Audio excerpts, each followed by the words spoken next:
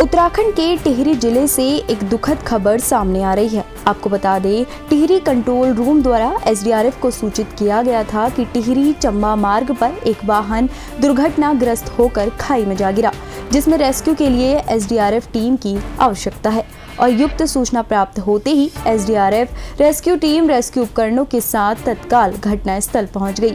आपको बता दें, कार में चार लोग सवार थे। चंबा से धनौल्टी मार्ग पर जाते समय अचानक अनियंत्रित होकर कार गहरी खाई में जा गिरी और वाहन में सवार चार लोगों में से एक व्यक्ति की मौके पर ही मृत्यु हो गई, जबकि तीन व्यक्ति घायल बताए जा रहे हैं।